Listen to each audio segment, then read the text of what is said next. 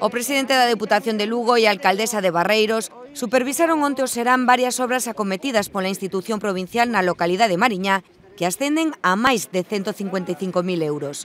Os dirixentes comprobaron xunto a membros do goberno, deputados provinciais e veciños o resultado dos traballos realizados na Estrada das Praias, onde recentemente se renovou un treito da calzada.